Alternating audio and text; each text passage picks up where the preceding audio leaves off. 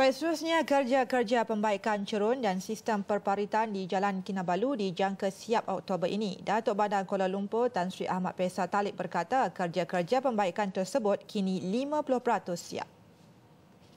Mulakan pada 9 bulan 3 2015 dan dijangka siap pada 18 bulan 10 2015. Saya yakin dengan kontraktor yang ada ini uh, mereka akan dapat menyiapkan lebih awal pada itu dan uh, peruntukan yang telah pun diluluskan untuk projek ini adalah 3 uh, juta uh, 700 ribu 50 ringgit.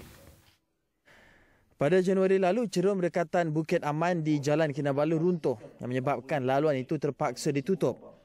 Ahmad Fezal turut menegaskan DBKL akan sentiasa memantau cerun berisiko di sekitar ibu kota di bawah inisiatif Sistem Informasi Cerun Kuala Lumpur atau KUSIS. Ahmad Faisal ditemui selepas membuat lawatan ke tapak kerja pembaikan berdekatan Mes Mesyuarat PDRM di Bukit Aman.